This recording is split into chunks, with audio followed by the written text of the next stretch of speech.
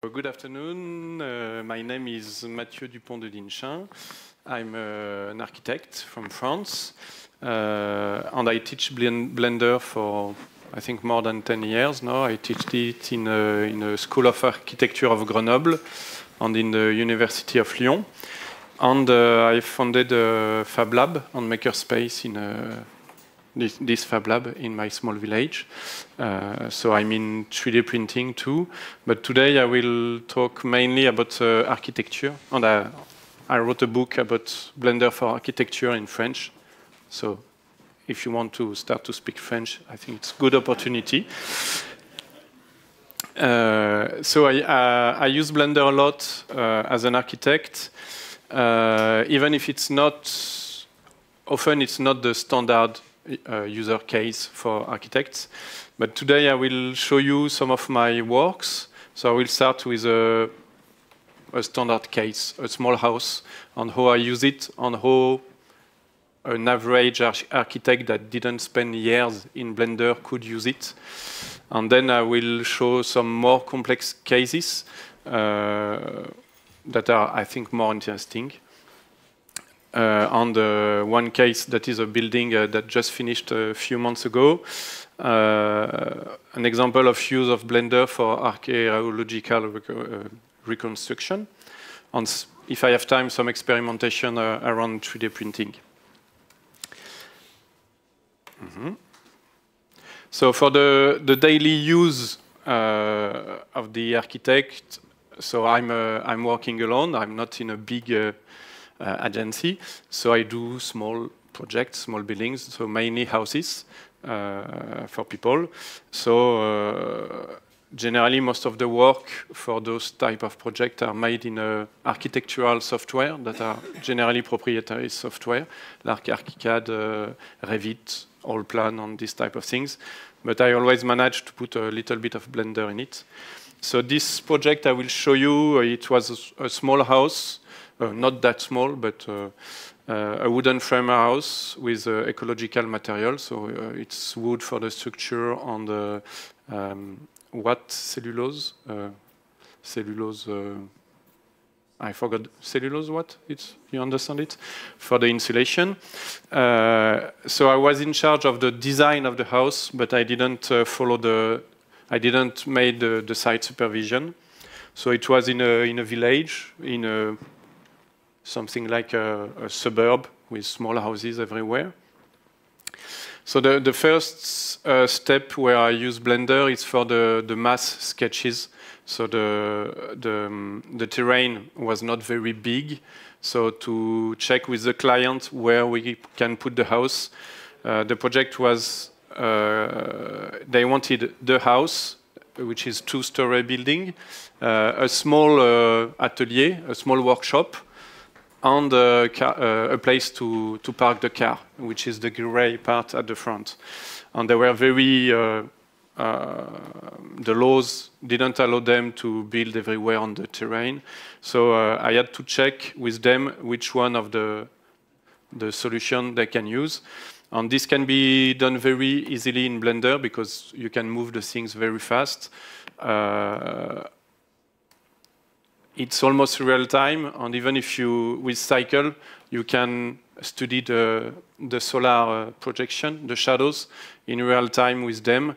Uh, with the, there is an add-on which is called the Sun Position add-on that is very effective for that. But I think it's not working anymore in the 2.79.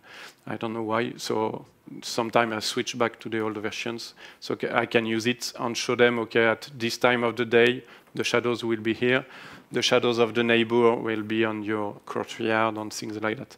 So uh, most of the architects I know, they prefer to use things like uh, SketchUp to do this type of things, but uh, I find Blender more effective and fast to use, so I prefer to use Blender.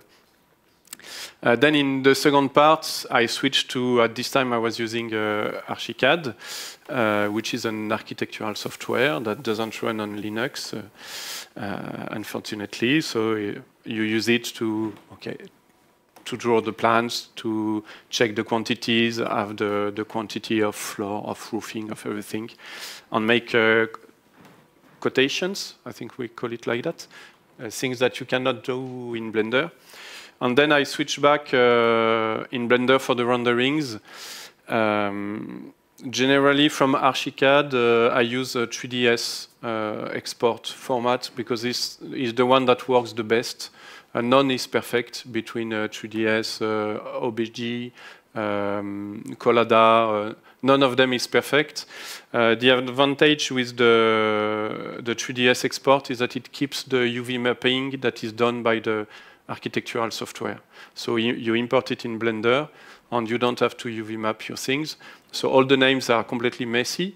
Uh, there is one material per object. So you have uh, 54 walls, and uh, each of them has a new material, which is called wall 001, wall 002. So there is small work to do, but it's easy to do in Blender. You select everything, uh, Control L, uh, link uh, material, so that you have only one left. So it's not that big work to do, but there are a few things that will prevent an architect uh, that doesn't know Blender to switch easily to this type of things because if you show him, okay, you just have to do Control L and uh, you just have to change that and change that and change that, it seems small amount of work for us that are used to Blender, but for somebody that doesn't use it every day, it, it may uh, discourage him.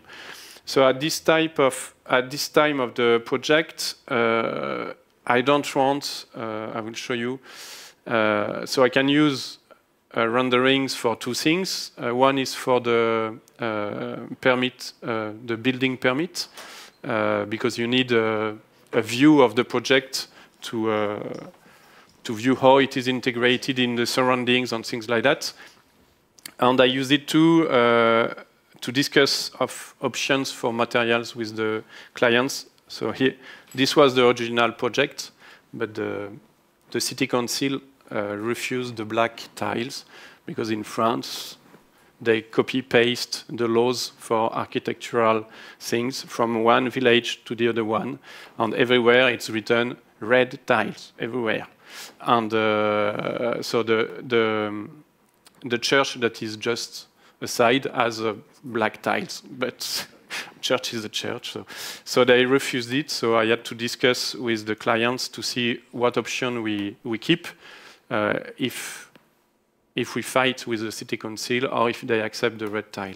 But at this time, I, wrote it, uh, realism is not an option because uh, you are doing just a project. And if you are, if you are using cycles to have the most uh, realistic rendering, then the client will come back to you uh, six months later to tell you, okay, it was supposed to be like that, and this is what I got. And uh, so it's for that that it's, uh, it's a choice to make uh, unrealistic projects. Uh, the aim of, of, the, of the rendering is to, to make the client understand how the house will be. But you must always keep distance, uh, put distance between the, the project and the reality so that he, they will not assume that it is supposed to be exactly like that. It's for that the trees are very ugly. Uh, that I add with uh, I use a lot um, freestyle to add lines so that the people they see that they they know it's a drawing. It's not a, a picture. So if we have time at the end, I will show you the, the okay, I can just show you the, the file. Uh, it's not very complicated. It's supposed to be here. And uh, not to forget that uh, I am paid to design the house, not to make beautiful images. So uh, the price I'm paid to design the first sketch of the houses is not the price uh, a designer would be paid to make a beautiful image. So I don't, my work is not to make perfect images. And most of the time, my clients are not in the graphic design uh, uh, world, so they don't care very much. They find this very nice, even if I'm not very proud of the trees and uh, things like that. Okay, it's not my best image, but the clients they, they are okay with this. So uh, this is the import uh, almost directly from uh, from Archicad. And maybe if I open the outliner, you will see uh, the messy names and things like that. So these are the names of my objects. So it's very easy to to move around. So if you don't have, uh, if you don't have to go back and front from the architectural software to Blender and then go back and then go back, it's very okay because you know you know what you design in the architectural software, and once you are done in this one, you export to Blender, and then you don't move uh, things anymore. Because if you start to make the two ways uh, exchanges, it will not work and you will lose a lot of things. But then you just have, uh, as I told you, the, the UV mapping is, is perfectly, not perfectly, but is, no, it's not this one, sorry. Um, if I enter edit mode, okay, you see the UV mapping is done, is done in a very strange way. Okay, everything is splattered. But if you have, if it's for a texture of wood like this one, it will make the trick because you don't care if the things are very well aligned uh, where they are. So as I use uh, very much repetitive uh, tileable uh, textures, this type of UV mapping is, is more than enough. And then at the end, the clients uh, got their houses. It's not finished yet. For once, they were happy with their project. It's not always the case. So uh, now we'll talk about another project that was uh, much more interesting for me. It started as a teaching project. In fact, I was teaching in no, Blender. I was teaching an architectural project in an engineering school from Saint-Etienne. And uh, we made some projects. We showed it to the council of the city. And they said, oh, it's nice what you did. Uh, maybe the next one you could work on a site. We have a project for some years later. So I made the students work on a, on a project on this site. And uh, two years later, the city council decided to build this project and uh, to build it uh, respectful to what the students did with me. So it's a, uh, but it started as a student project and it finished as a as a build project. So I was very happy that uh, we can uh, go uh, from the beginning to the end. It's in an uh, arboretum, so I think this word uh, exists in English. So it's a place where you, you have a lot of trees. It's on the small mountain at the top of the city of uh, close to where I live, and you have a very beautiful view. And uh, but there is no when you arrive there, you just park your car, and there are trees everywhere, and you don't know where to go. So the the, the city council wanted a, a small building that catch the eyes, and when the people park their car, they know where to go because they, they see the, the building. Um, it was supposed to be uh, I didn't find the, the, the, word in French is préau, and the translation in English is uh, is uh, covered uh, courtyard, like for children, you know, in schools. Uh, they call it hall, uh, city, uh, big things, but it, it, in fact it's quite small. It's an open structure. It's not closed. it was supposed to allow people coming to take a walk, to allow them to enjoy the panoramic view uh, sheltered from the, the wind and the, and the, the rain. Uh, it's supposed to receive some exhibitions once in a while. And uh, there are a lot of schools visiting the place to discover the trees. So it was made to be big enough to receive one complete class and have the space for the teacher to explain the things and things like that. Uh, there were some constraints. So in the arboretum, they have uh, trees. So uh, one of the constraints was to use the trees of the site. So it was very interesting for me because I, am in uh, ecological buildings, and uh, I think it's the I, I will never make a, a, more perfect project for that because the wood was taken on the site and did only uh, 15 kilometers by truck to go to the sowing uh, the guy that saw the wood, and then it came back to the to the site. So is uh, the, the wood made 30 kilometers uh, only for this project. So I was very happy with that. But it was a constraint because they wanted to use local woods, so no laminated uh, timbers. I don't know if you understand what it means. So uh, we had to find the, the, the, the, trees are not very big, so we had to use small uh, parts. We could not use a big uh, big timbers and big things like that. And it was supposed to be a showroom for some wooden techniques. So they wanted that the people visiting the building can see, okay, this, this is how we build, how we can build today with wood, uh, with local wood. And they wanted something quite contemporary, even if it doesn't, doesn't mean anything. But okay, uh, so, uh, and even among them, they didn't uh, know what what to choose. Some of them wanted round timber to be like a forest. Some wanted uh, incredible things. But the, the budget was not that big. It was uh, 70,000 euros to build the, the complete things. But as it's open, there is no insulation, there is no electricity, no water. Uh, so it was uh, it was enough, but there were no, no room for incredible uh, extravaganza and things like that. So this is the site. In fact, we had a very small terrain. Uh, around it was not the same proprietary, so we were uh, to be on the small terrain.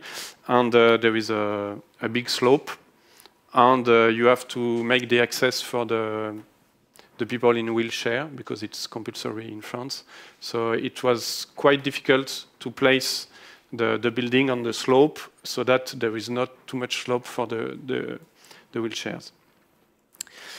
Um, one of the interesting things is that, okay, as there are not so many architects here, I will pass this fast, but uh, in France for public uh, buildings, uh, you choose the architect first, he makes the design, and then with this design you choose the companies that will build, and in some of the case, and in that case it was that, the companies are responsible for the structural uh, uh, calculation, and so it's the company that is supposed to uh, calculate the size of the woods.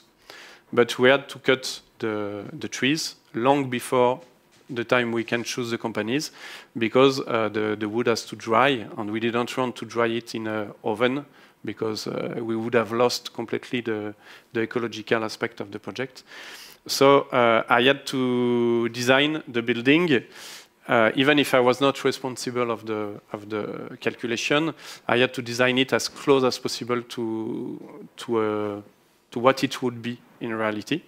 Uh, and uh, I, as the all the carpentry work wooden frame would be visible, uh, I had to spend a lot of time on the all the fixing and everything to be sure that uh, okay, the more precise I am, the more chance the, there, there is that the carpenter will respect what I draw and that the project will be as I designed it. In the first house, for example, I don't care what is inside. All the, the carpentry, the wooden frame is inside the walls, so it's not important here. Everything is outside.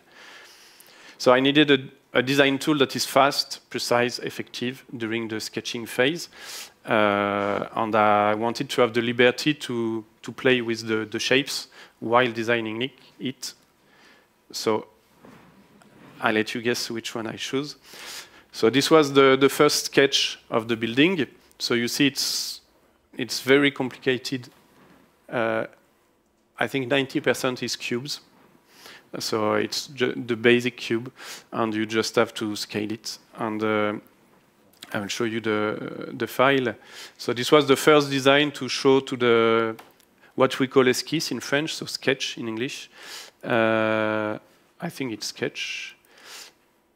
So it was to have the, no, this one is not the one. This one was what we finished with with the students.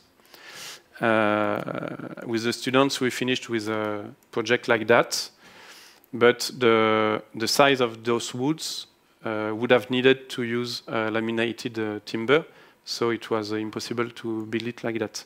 But the general concept with the, the two the two-part roof was kept. And my first sketch was uh, was it? Maybe in this one. Uh, this is uh, not the sketch, so I will find it. Um, sorry. Okay. It should be this one. No. you should clean your, your files at the end of your project because later it's too late. And after you, you don't remember what you did. So here, the only thing that was not designed in Blender is the, the terrain, because in uh, for this project I use uh, Revit from a company. I won't say the name because last time uh, Ton said the name of the company, he received a part of the roof on the, on the head.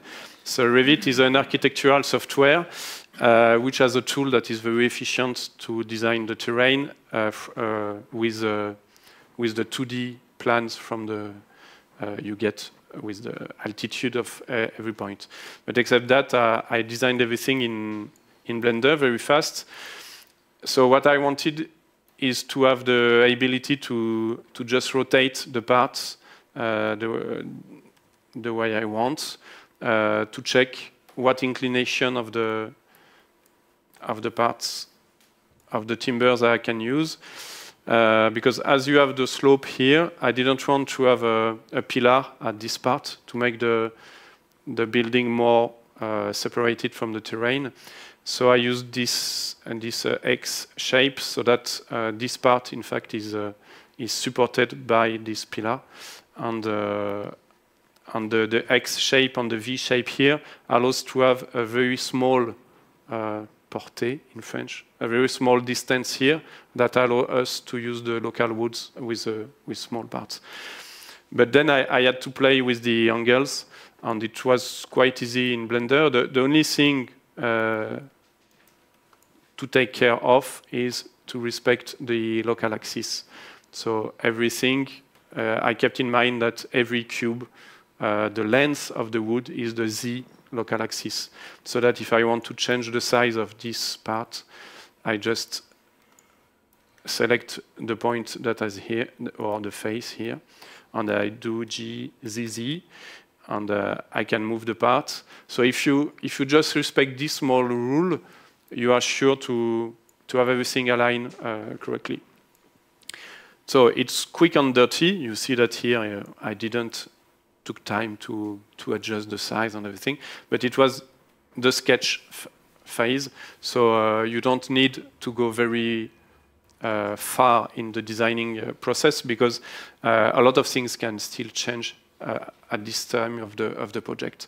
So if you spend uh, two hours designing all the small parts, and the client say, "Okay, now finally I don't want this," you, you just lost lost two hours. So we'll see a lot of small things change, and I use a lot of snap, of course, and a lot of array, a lot. I think most of the project here is made of arrays. This is an array. This is an array. This is an array.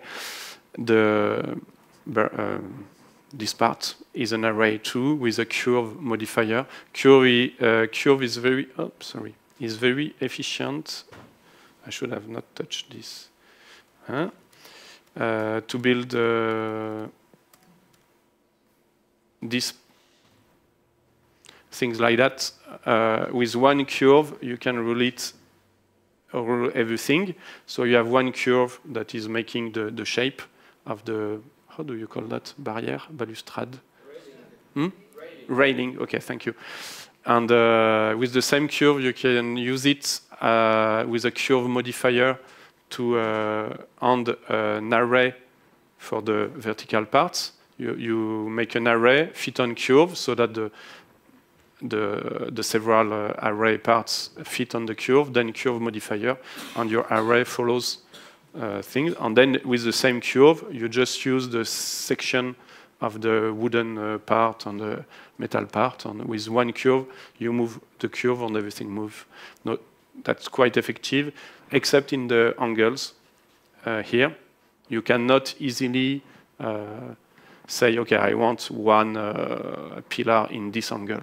But at this stage of the project, it's no, no problem. Nobody told me, ah, it's missing a part here. So, um, so the rendering is fast because you don't have time to lose again. And for that, I must say that uh, uh, cycles really changed my life because you just in, uh, I think in two minutes, uh, settings, you have a nice renderings. So in my uh, starting a startup file, I have one sun and one uh, sky.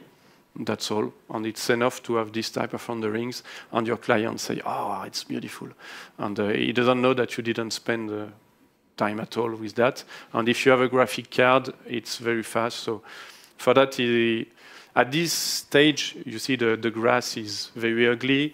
Uh, the clients, they, I don't need to put uh, lines with freestyle or, because they know that it's not the, the finished project because everything is ugly around. So. So it allows to discuss the general shape to convince the client, and the quality of the render is not the point. The only thing is that I wanted them to see what part is wood, what part is concrete, so the, there is some concrete for the foundation, and that's all. And then we go to the detailed project, so what we call the avant-projet détaillé in French, so the, the, the, detailed project that will allow you to, to have the construction permit, and uh, that will be the base to, for the discussion with the, with the companies that will build. So this is uh, rendering with, uh, with cycles again on a picture of the site, so that for the building permit, you are obliged to do that in France.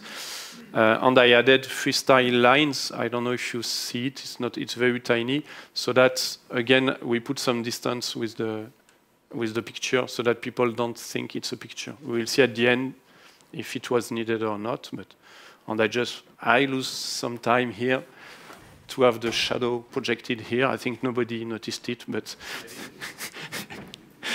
it was more for me than for the client. So to to make this precision modeling, so you see here that all the assembly is designed here with the cut at the right angles and things like that. Um, so you have to use a lot of workarounds. So I will open the file. Um, it's for that I say somebody that would uh, just start Blender will not use Blender for that. But in uh, Revit that I use for the plans, uh, building things like that is very cumbersome. It's more precise, but you cannot change the angles, for example, of the, the shape. And here, for example, uh, you can, but not easily. You have to rebuild everything.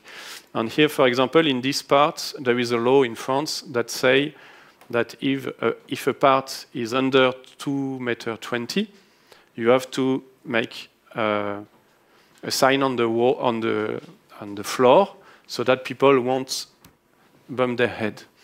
So here, with the first design, I was the I had the inclinated part uh, that was too low, so the the people would have I, I, it would have been needed to make a, a smaller smaller step here so that people will not bump their head.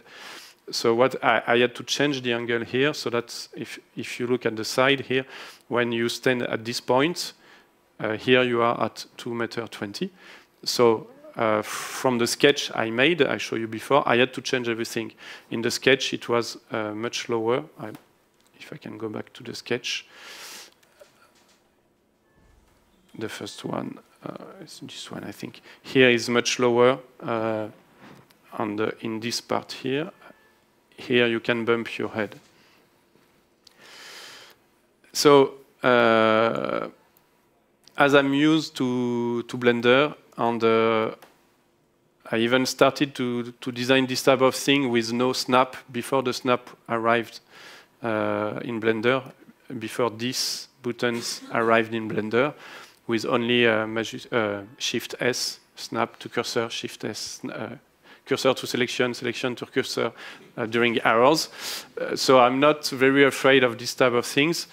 The main, the main thing is to always think about your axis. Remember what is the axis of the, the, the, the. So every, if I use those, this very ugly thing that I never use, the, the small gizmo here, uh, the, you can see, okay, I will, sorry, I will put it on the so this can show you the axis of the object. So every of them as the z-axis in the correct uh, direction. And once you have that, it's just a matter of using um,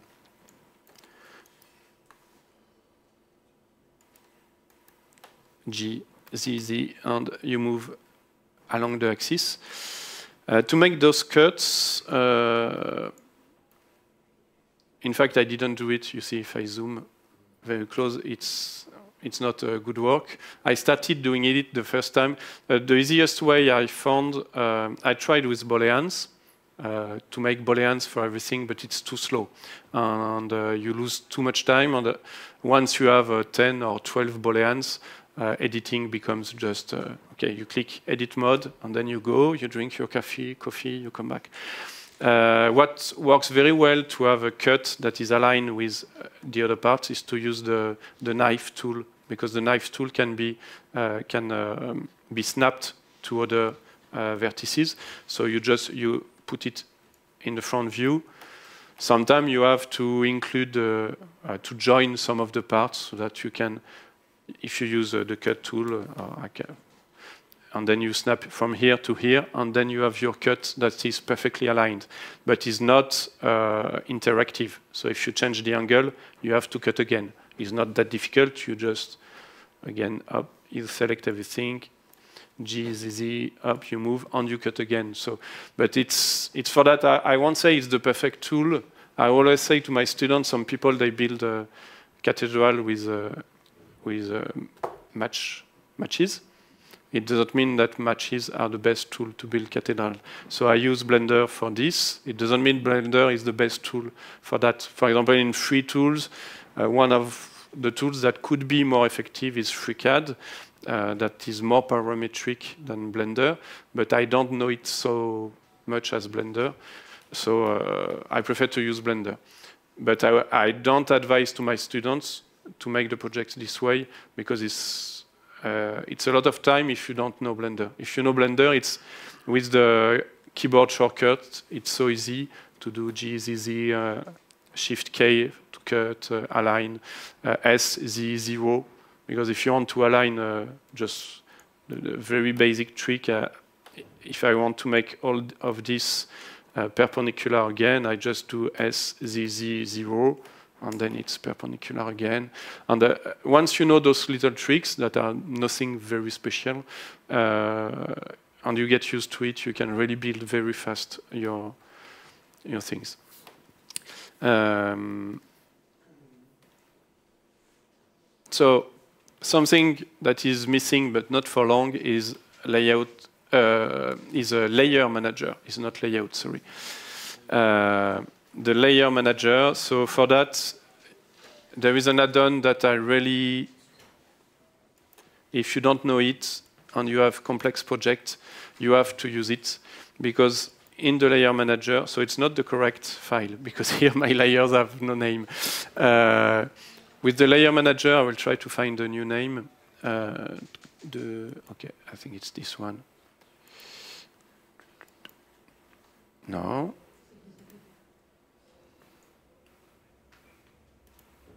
Oh, okay, this one. So during the old days, I always had a text editor in which I was typing uh, the, the name of my layers, uh, saying, okay, like that. You see, I don't know. I don't know. Uh, can you read the texts that are? Yeah. So I was writing layer one is the terrain, layer, layer two is the foundation, and uh, things like that. Uh, with this add-on, the, the layer manager, you have you can name all your layers and you can do group of layers. So when you have, uh, because two weeks after you have closed for the last time your project, you don't remember where is what. It's impossible. You only have those dots here. And uh, um, so with this one, for example, I have the, this one means what I will need for the rendering, okay, and this one means everything of the building, and you don't have to activate it by hand. And then the, just the, one trick I used for this project that I will show you uh, is the, here I have a lot of objects that are uh, linked duplicates one from the other one. And uh, when you use a wood texture, so to, to make it clear, uh, more clear, what I will do is, uh, okay, I will just show this one here. So let's assume you have a lot of duplicates. So it's linked duplicates of the same object here. And you have your floor that is made of a lot of uh, piece of woods like that. If you use UV mapping on the standard material for this, then if there is one uh, uh, knock, uh, no, uh, node in the wood, you, it will be repeated everywhere and it's very ugly. So there is just one little trick that maybe some, probably some people will know. Um, if I go in the material settings, okay, uh, where is my wood? Is that I use UV mapping because with the UV mapping you can uh, choose the orientation of your wood. But then what I do is that I just will move the the texture, the UV mapping, depending of the random uh, from object info node. The problem is that the vector, you cannot, uh, you are obliged to separate x, y, z from the vector. But then with an add node, I checked just one is enough. If you, if you just remove this one, it, it works.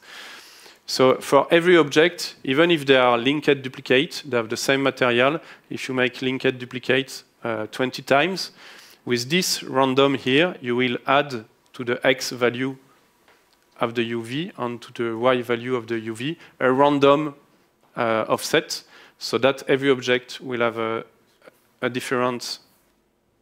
So if I do a very fast rendering here, we can see that they are not, it's the same texture, it's the same material, and it's the same object, but with this very small trick. And uh, uh, I use this a lot because uh, basically a wooden frame house is a hundred times the same object. You have the, you have the pillar and you just make a, a copy of, of it. So just small trick. So this is the the views of the I did for the, the carpenter to be sure he understands what I was uh, wanting. And then from this, he made what we call execution plans, les plans d'exécution, uh, that are more buildable than this one. And, uh, and he is responsible if, if it falls down. He is the guy that will go to jail, no, no me. I will just have to pay a lot of money.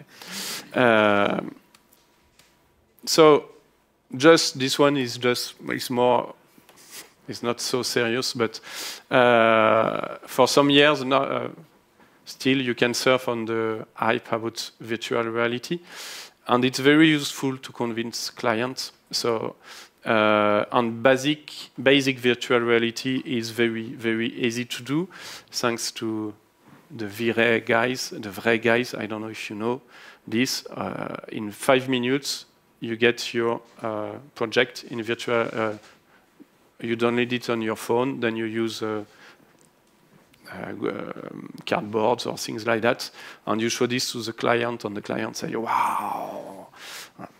So, but uh, what I noticed is that the people they are more impressed by your phone than on the the, the, the, way they move the head that by, by, the project. They don't look at the project anymore. So it's you have to be careful with that.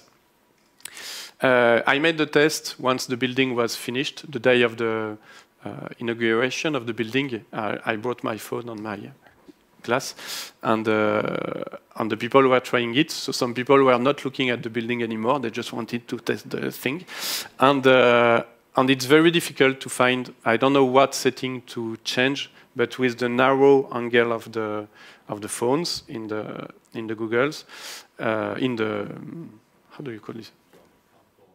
Cardboard. Thank you. Uh, it makes uh, a strange offset of size and you are in the building, you put it, you recognize it's the same building, but you don't feel it's the same size. And uh, so it's not that easy yet. There, time after time making the those devices larger, not on the phone, but the ones that you connect to your computer. So it, I, I think it will solve the problem. But today I find it a little bit dangerous in the project phase to show to a client, especially in an inside room, to show him on your phone the VR, because uh, he will have a, a, feeling of space that is different of what the project will be at the end. And uh, it may make some mistakes. So the hype may not last long. So I think in two years' time, this one will not be enough to impress people. But for the moment, uh, the, uh, when you show your project with something like that, it just make them say, oh, and, the, and they take you seriously. And so you can use this uh, to convince the people. But remember that it's, it can be uh, dangerous. So this is the the address of the, the, the, I don't know where it is. It was open somewhere. Or maybe I closed it. But uh, you can download it on your phone or on, or on, your browser, and you can move uh, in it. Or at the end, if you want, I have my, uh, my plastic cardboard, and you can test it. It's funny. Um, I just check the time. Okay. So the exchange with the other actors, I will go quite fast. And if some people have technical questions about this, I will talk with them later. Uh, so in this project, I made the things uh, in the wrong way. So generally, you you design the building in the architectural software, and then you export it in Blender to make the render. Here, I designed the building in Blender, but then I had to make uh, the plans, printed plans with quotation. So I have to I had to export from Blender to Revit. Uh, it works quite well once you have found the workaround and you take care to put always your object with the origin at the correct place. And then you have, for the ones who knows Revit, you have to import it in a family so that you can make cuts. And it's it's quite okay. Well, the plans I made for the the building permit, in fact, it's the it's the Blender import from uh, from Blender to Revit and I could use uh, snapping to make all the quotations and things like that. Uh, so with uh, building information modeling on the IFC, I don't know if some people know what it means, these type of things. So it's supposed to be the future and uh, save everybody, and uh, everybody will be happy in the building uh, industry. it's far from perfect, so one, one of the main problem is that uh, IFC is not parametric for the moment. So uh, even, for example, you do in FreeCAD, you do a parametric uh, building where you, you type, okay, length of the beam and it changes. You export that with IFC to Revit and you lose the parametric. You have the exact copy of your project, but it's not parametric anymore. Um, the axes are well kept. Uh, names are exported. Uh, so with Blender, I can show you this one because I have it here. Um, I think it's on this. Okay. This is the IFC import from uh, the carpenter. So from my design, he, cha changed the, the design to make it easier to build for him. And uh, if you, what is interesting is that in the in the object settings, here you find uh, the IFC type. So this is a beam, the name, the this is the ID uh, from the, the IFC. Um, and you have everywhere, every object has a correct uh, has correct axes. So if I use this one. So you see that this beam has its axis this way, and this beam has its axis this way. So the import is quite usable, except that, of course, I designed everything with the z-axis in, in, this lens. And the, when you import from IFC, the z-axis is perpendicular. So it disturbed me a lot uh, after. But uh, so the, there is a IFC importer, which is an add-on from Blender. Uh, it's made by uh, IFC OpenShell. So you can, if you Google, uh, no, if you search in another uh, searching engine than Google uh, IFC Blender, you will find easily this importer, but there is no exporter for the moment. The only way to export from Blender to IFC uh, with free softwares is to export it uh, to FreeCAD, and FreeCAD has an IFC exporter that is working quite well, but it's not for the, uh, daily work. Um, one of the problems compared to 3ds, uh, OBJ, Collada, and things like that, is that IFC doesn't contain any material information, uh, material in the sense of Blender. Uh, so you have no UV. You have to UV map uh, everything. So the next step was, and I will go faster, uh, was to make a model of the building. In fact, I made the model after the building was built because I had no time before. But let's say I should have done it this way. Um, so this was quite an easy part, uh, funny part, and finally uh, easier than what I thought. Um, so there is an add-on for Blender which is called SVG exporter that is quite effective because uh, the, the laser cutter, most of them, they use um, SVG or uh, Illustrator type vector, um, not pixels. So you have to export all of your shapes into uh, SVG to, to, to cut it. So in the Fab Lab, we have a Lasersaur, which is an open source, open hardware uh, laser cutter, which uses SVG. So you have to export all of your parts into SVG. Um, so the thing is that you have to convert all of the meshes into curves. In fact, it's, it's quite easy. I just show you if, if you want. Uh, you select the face. Okay, but this is the carpenter work. I didn't want this. So, but I will just, first thing is to remove all the triangles with Alt-J so that you have only square faces. You select the face you want, so this, this one. I will remove all, all the other ones. I missed it. Uh, sorry. Uh, it's the problem with live. Um, so that I have only this that remains. The problem is that the IFC exporter exported with the Z axis this way. So if you want a 2, 2D curve, you will lose because the 2D, uh, the 2D curve has the z-axis uh, normal to the surface. So if you want a 2D curve so that you can after put some thickness with the extrude so that you can check that your model is correct.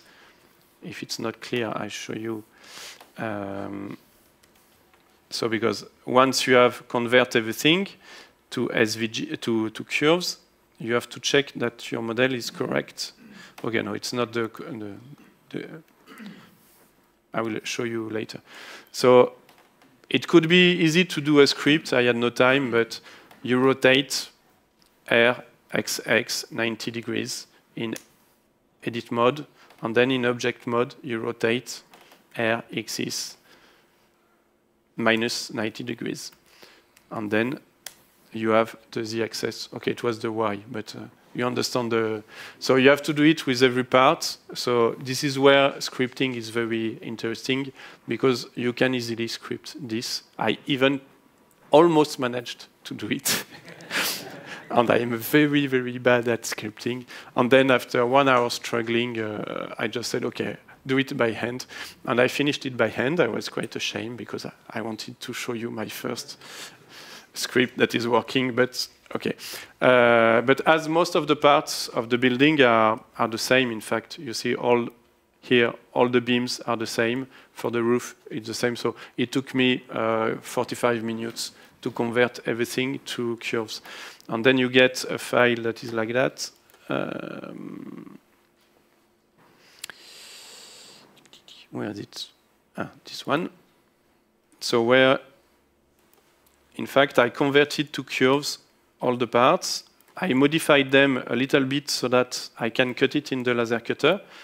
But this is a curve uh, with an extrude value here of 2.5 millimeters because I was cutting it in a 5 millimeter plywood and extrude extrude the two sides. It's quite. It makes me mad that every time you have to to divide by two the value here, but that's it. Um, and so I, I just had to convert everything into curve, check with this uh, extrude that the building was okay.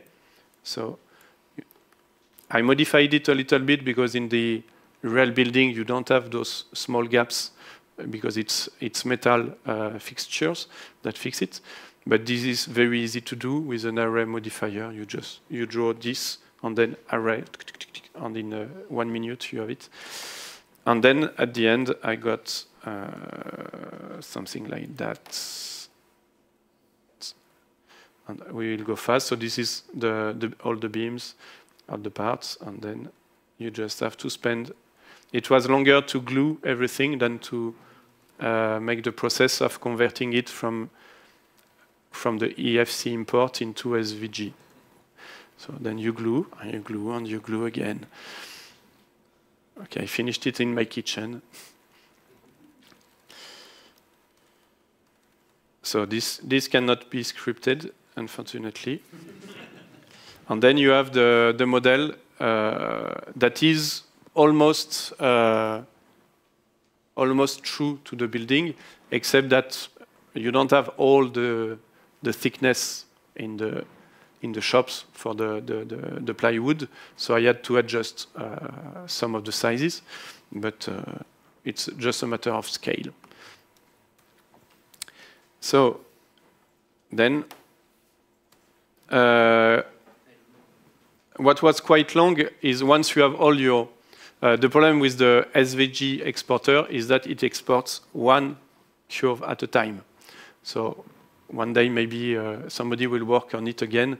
So uh, on this project where most of the curves were, were re repetitive, it's not a problem. But if I had to do this with uh, 200 curves, is, is you cannot do it. So you have to modify the SVG exporter so that you can export all the curves in the same time, or you join them. So, so, but for that, if you want to join them, it's better to place it the correct way before. So what is interesting for that is that I didn't find an add-on to make a packing of curves on a sheet, but there is a a version of Blender that is called BlenderCAM that is designed for CNC machining that I'm using for in in the Fab Lab for the CNC. So it's uh, it's something like that. You just change the rendering engine into BlenderCAM, and you can set your uh, cutting operation. And they included a part that is called pack on pack curves on sheet that does exactly that. You have uh, 200 curves, all uh, one uh, just set like that, mixing, huh? and then you say the size of the, the sheet, and it just align them uh, so that there is no gap or a gap you choose, and it can uh, you can disable rotation because for me it was important that the, the pieces I cut in the plywood respect the the the, yes, the grain of the wood. So uh, you have to, to put the rotation in the good way. And then if you disable this, uh, it will place all the sheets, but keeping the rotation so that you can cut it. Uh. So it's, as I told you, it's not for the, it's not for the guy, you, you tell him, okay, tomorrow you, you will be able to do that, because you have to use a lot of workarounds, but it works.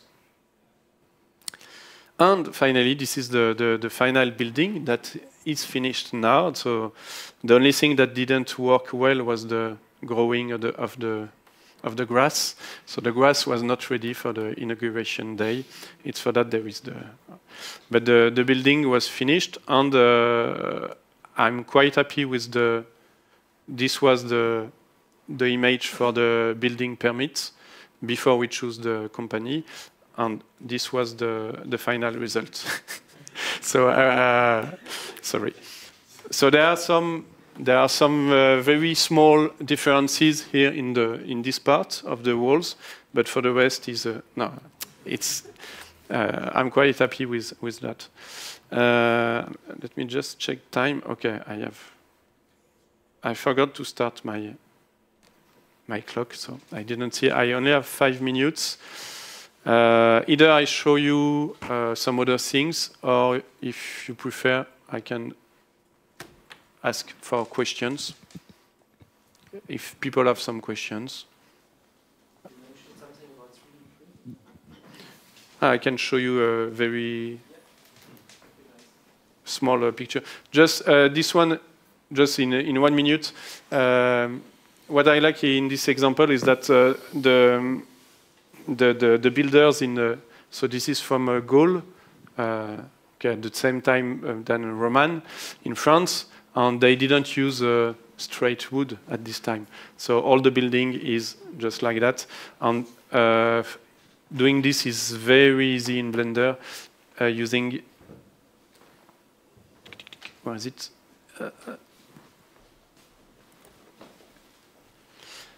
using lattice.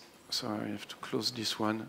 Okay, you just, with a lattice and a modifier, so you have to put a subsurf modifier, but not a Catmull-Clark, a simple modifier, subsurf simple modifier.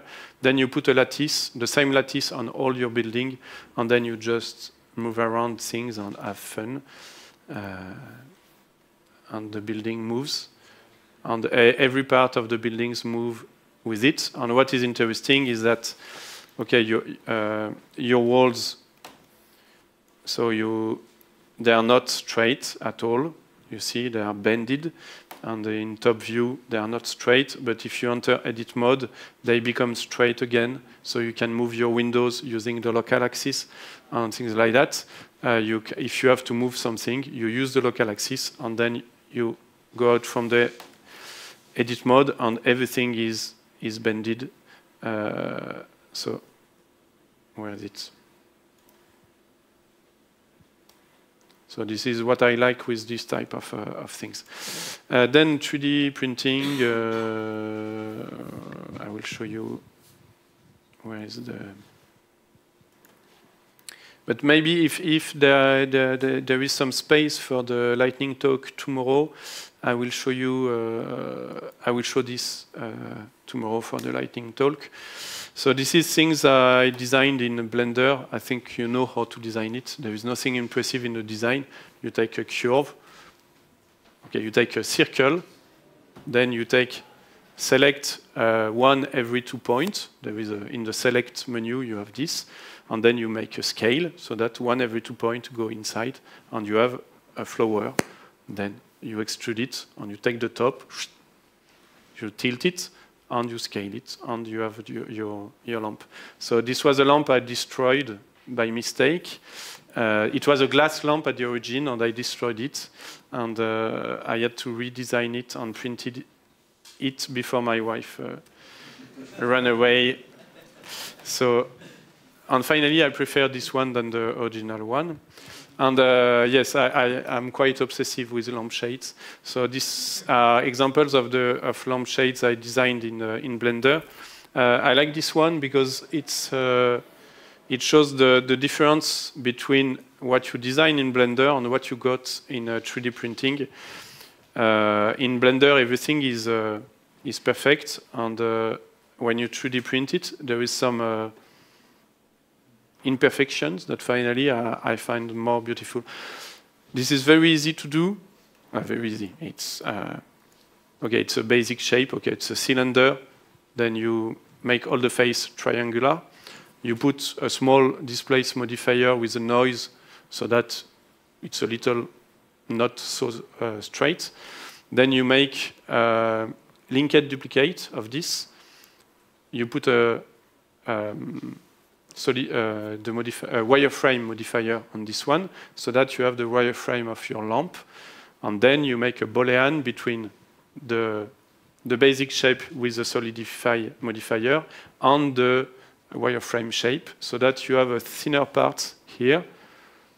And then when you print it, uh, it lets the light So I don't know if I have the time to show you the model, but I should have it somewhere here. Uh, I think it's in this one. No, okay. The, these are some other tests. Uh,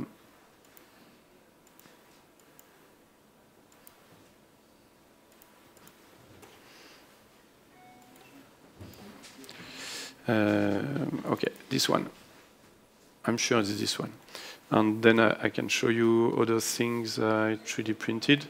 So this is a, a, lamp. I will go the other way so that you understand how it's done. So I'm almost as obsessive with lampshade uh, as I am with uh, displace modifier on the on procedural textures. So this is just uh, okay. It's a very basic uh, polygonal uh, shape uh, with a lot of subsurf modifier and displace modifier with a Voronoi texture. And then I use the plaster, uh, it's earth, uh, uh, clay, to plaster it. And then with a, a sponge, you remove what is the, okay, in the top. And then when you light, uh, so the plaster keeps everywhere except in the, and uh, you, you get uh, this, this thing. Okay. And I think it's time Okay, this is the same than uh, than the one I showed, but with just uh, okay. The only thing more is that I used a build modifier. Uh, I don't know where it is. No, it's because it's pinned here. So the build modifier allows you to build something, or if you inverse it, I don't know if you know the. Okay, it will just make disappear randomly the faces of your object. So that uh, once I finished the first lampshade, I said, okay, I will try with some holes. So with the build modifier that is here with reversed, and then if you move in time, it's quite slow on my laptop, you can choose the amount, because when you move in time, it will disappear slowly, and you choose the amount of faces you want to disappear and the amount of faces you want to keep. And the, okay, it disappeared. so one day, one day we will have modifiers that are uh, multi-threaded, and that will be fast. This one was a complete uh, failure because the light is not proportional at all with the thickness of the plastic. In fact, uh, I wanted to have something uh, with the, the light passing more or less, but in fact, you, I just had patches of light uh, and it was not uh, not nice at all. So this is the the wireframe shape, and where is the original shape? It will belong to show. It should be here. Sorry, it's only my laptop. So this is the how it look like. It looks like in Blender. So if you just have a look at the, the modifier stacks. You have a solidify modifier to give the thickness. Then you have a simple subsurf modifier, then another subsurf modifier, the Boolean with the, the, with the grid version of it. But if you go in edit mode, the basic shape is just is just that. Okay, it's a cylinder, scale the top on the change all the face. And what I like with modifiers is that, of course, you, ca it's, you can change it anytime you want. And as everything is linked, it should work. But generally, the last thing you do uh, when you are already late doesn't work. I don't know if we have time for more questions. If there are some questions it worked. Yeah. Just, Just a moment. One question. Thank you. No, it didn't. Yes. Okay, so how did you exactly export the mesh from Blender to Revit? What was it then in Revit? So, uh, which format and IFC via no, the, via FreeCAD or no, no, no. Um, it was too cumbersome to go through FreeCAD, so I used I even don't remember if it's, I think it's 3ds, .3ds format. Um, then uh, in Revit, you know Revit? You use it? Yeah, heard of it. Okay. And, in Revit, you have, you have something that is called a family. A family, in fact, is an object that can be shared between several things. So when you put a family in your, in your, let's say this is a family, I put it in my project. If I change the original uh, family file, it's changed in all of my projects. And the, the other thing is that if you import the 3ds file in your project in Revit, when you cut it with the cut tool, you don't see uh, the hatches and things like that. So you have to import your 3ds export from Blender in a family, and so that you, and then you place your family in your project, so that when you change in Blender your file, then you import it again in your family, and the Revit will update it uh, automatically. So in, with that uh, workflow, you have almost uh, a back and forth possibility. The only thing is that you have to understand where is the, the, the origin of the family and to locate the origin of your uh, project at the same place. So you move all your project in Blender so that the zero of the project will be where you want the zero in Revit. Once you found this, it's quite uh, straightforward because anytime you move a beam in Blender, you export it again, import it again in the family, and in your plans, everything uh, moves. So it's it's much better than what I did before with uh, with Archicad. So it's not perfect yet, but it's uh, it's quite working. So I use it for for the, the project. Thanks. You're welcome. Other questions? So thank you all for your questions.